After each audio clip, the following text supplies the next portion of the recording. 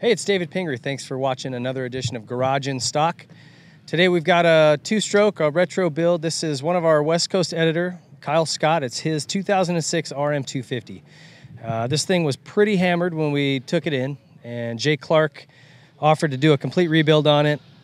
Um, I mean, it needed to be gone through, crank, piston, the, the top end, the whole deal. Um, it was it was kind of a mess, and I think as you'll see, it came out really, really nice. Uh, a lot of companies got involved, and I think we put together what is a, really cool project. So Jay Clark was the guy in charge of putting this whole thing together, and he started with the engine. Uh, they took a took the bottom end apart, put in a hot rods rod and crank, uh, which is a kit that you can buy from those guys. That's really good.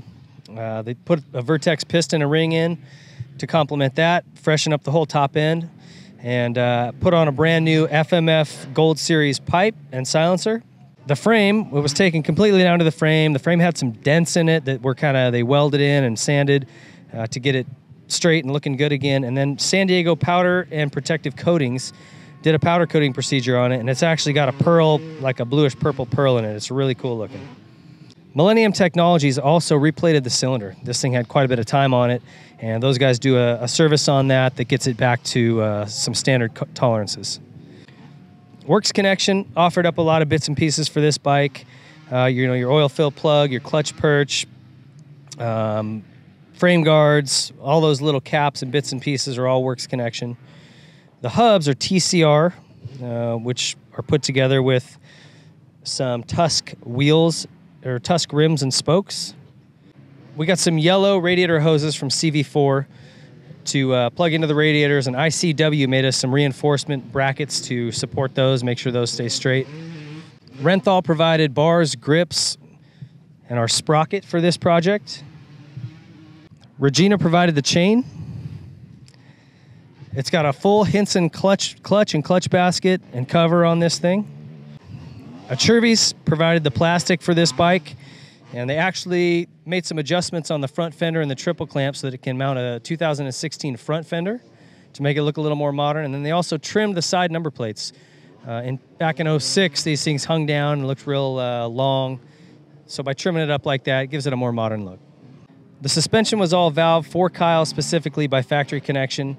Uh, those guys are really good at going in, doing a nice revalve, freshening everything up, making sure the oil and everything is, uh, is fresh, seals are fresh. And VP provided us some fuel. C12 is typically what those guys would recommend for a, a two-stroke. And of course, the guys at Pivot Works and Cometic Gasket provided a lot of the bearings and seals and gaskets that we needed to do the, a rebuild like this on an older bike. And finally, TM Design Works got our chain guide. It's a bright yellow, kind of goes with it, and our slider. Those things last quite a long time, very durable, and uh, they come in different colors too, so you can give your bike a personalized look. We mounted some Dunlop MX3S tires up to our wheel set. Uni sent us an air filter to use in this, and the seat is done by Moto Seat with some custom striping. The rotors that are mounted to these wheels are also Motomaster. They have a very uh, unique, cool look to them. The front rotor's oversized, and uh, those things really improve your stopping power. There's also a steel braided front line on there, and a Ride Engineering uh, front brake line clamp. Uh, and Applied Racing uh, made us some custom triple clamps for this thing.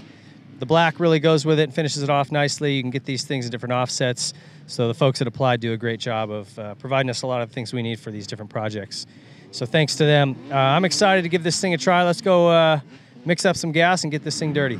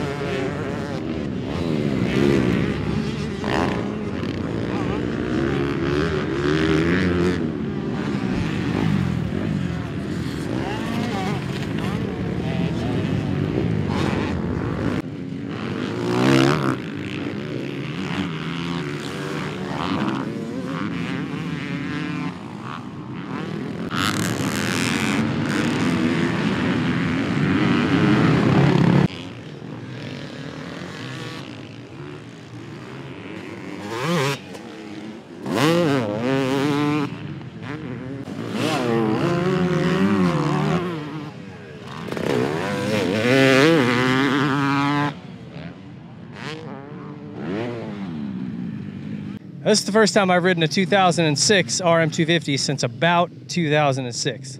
So um, it's been a minute, and I was interested to just kind of be reminded what this bike was like, and um, it's good. I like the the way the motor works. Uh, it's, it's, nice and tight and fresh, which is great. The the pivot works and hot rod and all that kit that went in there, the, the Vertex piston, tightened everything up, made it nice and sharp and fresh. Uh, we had a little bit of a jetting issue initially. Our pilot's a little rich, so we opened up the air screw and got it better. Uh, I think a lean, one leaner pilot to clean it up to where it's just right. But uh, the roll-on power is really good on this. It's um, I, I remembered these being real light switchy on and off, but actually this thing, if you just carried a little bit of momentum through your turn, you could you could really uh, just leave the clutch alone and use the throttle and be smooth coming out of turn. So that's a really good characteristic on a 250. I was I was really stoked with that. Um, it's a comfortable bike. Turns really quickly, which Suzuki's always had that uh, that feel. Gets in and out of turns really well. The suspension actually worked okay for me. A little soft on some of the jump landings for me, but it's not set up for me. Uh, but the guys at uh, Factory Connection did a good job. Uh, everything else on it, it, it's really good. Brakes are good. tires worked well. The the Renthal stuff's very comfortable to me. Uh, we got the the rain grips on, the wet grips, just because they're black and they looked better. But uh, I would probably go to a, half waffle medium. But these things do look nice. They're just really sticky and uh, they're a little bit bigger in diameter than a half waffle uh, medium, which I normally run. But uh, yeah, really good. Good power, suspension worked good, brakes, all that stuff's great. Um, so to take a bike that's this old, you know, already 10 years old, and to be able to go out and, I mean, I can probably ride this just as quickly as I could a, a 250F. Uh, that's that's impressive. That's saying something, you know. The, as far as we've come with that technology, this is still competitive, and uh, that's interesting to me. So, anyway, really cool. I think it came out great. Thank you to all the companies that were involved. Um, really stoked. I'm sure Kyle is going to love this bike, and uh, he's got himself a, a, nice two-stroke race bike. We'll expect to see him at some uh, two-stroke nationals this year. So, uh, thank you to everybody involved. Thank you very much for watching. Bye bye.